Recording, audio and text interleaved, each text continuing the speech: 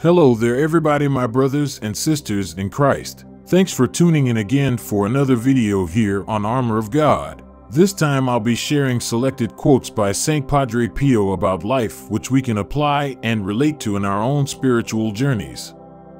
Wait, your turn will come. Love doesn't tolerate delay. Life is a continual struggle against oneself. Life is a struggle which we cannot avoid. We must triumph.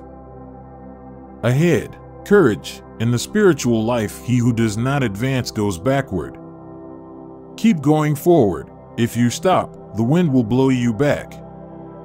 Planting is less important than sowing to have a good harvest. The years pass by, and eternity becomes closer. In the spiritual life, the faster we run, the less tired we feel.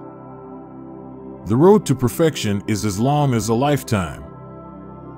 It is necessary to be strong in order to become great. That is our duty. Drowning on high seas or choking on a glass of water have death as the same outcome. Guard jealously the purity of your heart and your body. Detach yourself from the world. Repair the past and prepare for the future making good decisions. Don't philosophize on your defects. Fear is an evil worse than evil itself. Being attached to the things of the world brings sadness. Even when reprimanding one must be courteous and gentle. Gentleness doesn't mean permissiveness. Do not be restless, upset, and anxious in times of darkness. It is easy and difficult to become a saint. Let your whole exterior be a vivid image of the composure of your soul. One day we will have to give strict account on how we spend our time. Let us be moved by the presence of God, who is also our judge.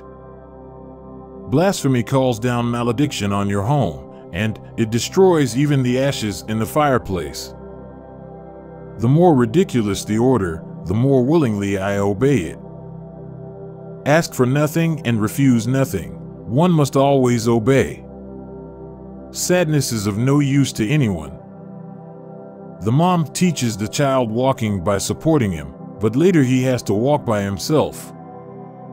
Unable to take big steps, be content with little steps until you have the legs to run or wings to fly.